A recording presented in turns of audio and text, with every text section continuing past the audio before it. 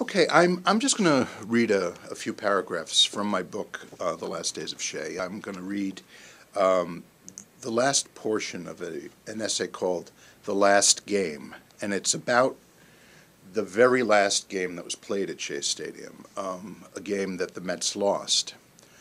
And because they lost, they were not going to be going to the playoffs. Had they won the game, they would have been. Um, well, they would have at least tied um, and then had a one game playoff uh, against the Milwaukee Brewers.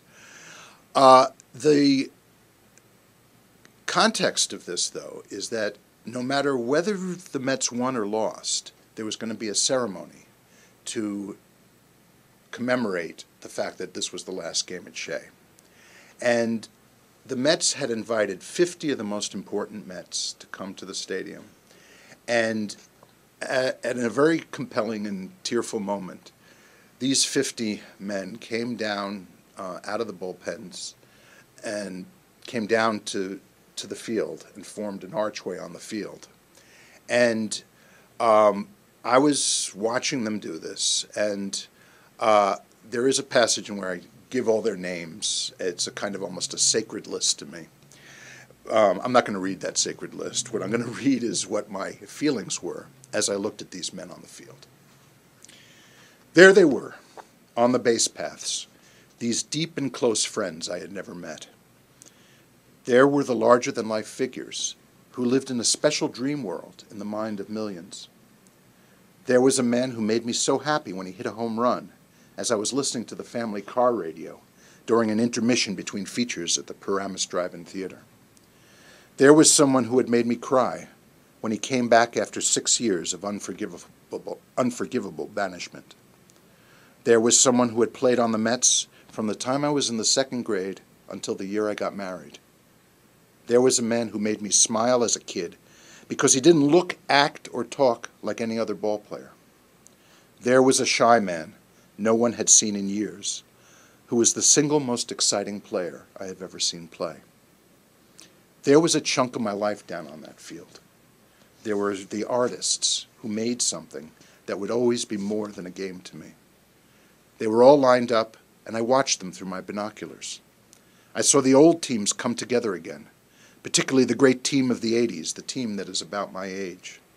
I saw the older team of grown men from the impossibly distant days when I first heard Bob Murphy's voice. And I saw the newer Mets, who were young enough for my daughter to have fallen in love with. Each of them stood on the field, in a big jersey with a number he had worn.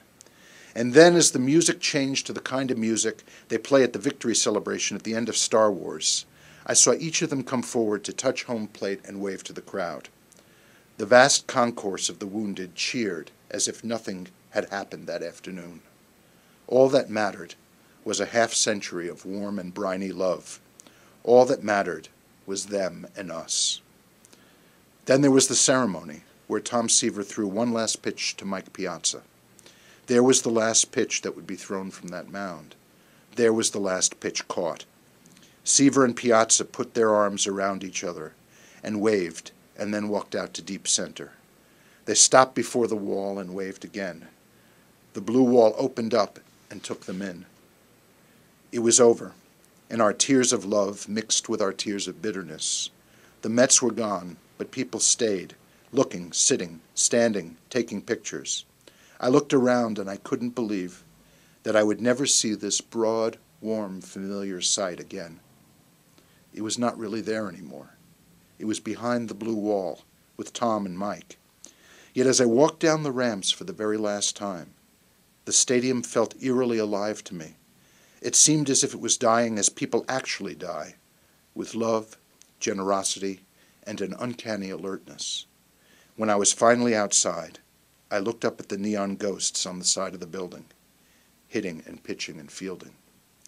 I walked towards the parking lot by the bay, turning around every few seconds.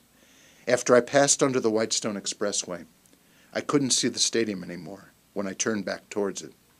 I walked through the darkness of the nearly empty parking lot to my car. Not wanting to get into the car right away, I walked to the promenade along the bay and sat down on a bench.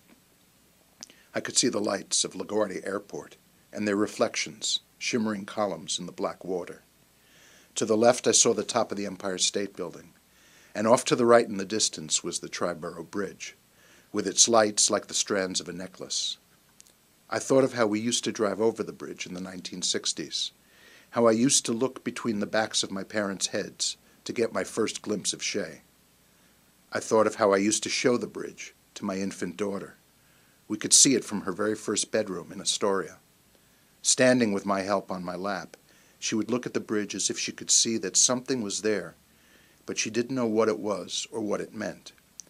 I looked at the lights in the water and against the night sky. I knew that Shea was empty, but all of its lights were still on. I couldn't see it, but I could feel it behind me.